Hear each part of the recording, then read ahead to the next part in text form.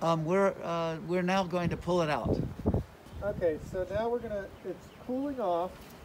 I'm just gonna move it over to the next one. Let it cool some more.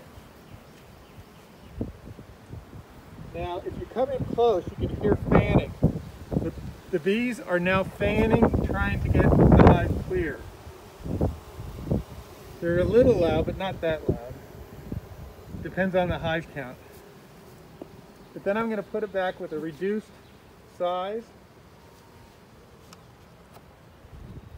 Because during this time, there's a lot of robbing going on from old, stronger hives. So you want to make sure that you give them all the reduced entrance so they don't get robbed out.